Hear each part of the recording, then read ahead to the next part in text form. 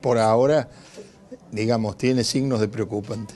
¿Esto obligará a un replanteo en, en, las condiciones salariales con la provincia de lo que pide el Sindicato de Empleados Públicos? Nosotros tenemos un acuerdo firmado por todo el año. De cualquier manera, como corresponde, el acuerdo dice que si las variables económicas se disparan y afectan el poder adquisitivo del salario, vamos a reclamar la apertura de las mismas.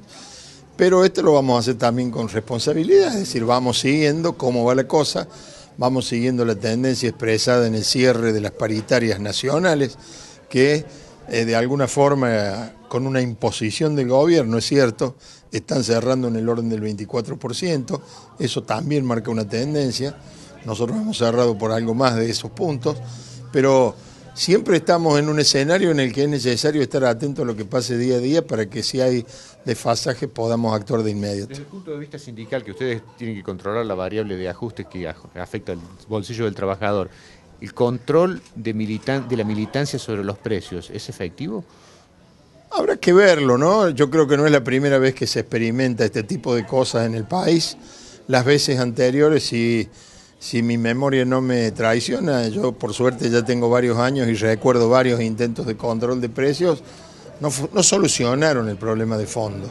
Pueden ayudar en la coyuntura, puede que alguien se cuide un poquito más. Esa concreta de las entidades farmacéuticas de cortar la prestación de APROS la semana que viene. Eh, el CEP tiene obviamente a sus afiliados dentro del APROS. ¿Temen que eso ocurra en la provincia de Córdoba?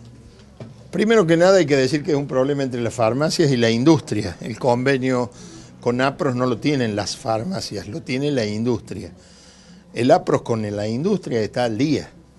Ahora, si los farmacéuticos no están de acuerdo con el convenio que tienen con la industria, creo que allí se genera el conflicto, pero hay que decirlo muy claramente, porque si no daría la impresión de que es APROS el que no paga, por ejemplo, y no es así.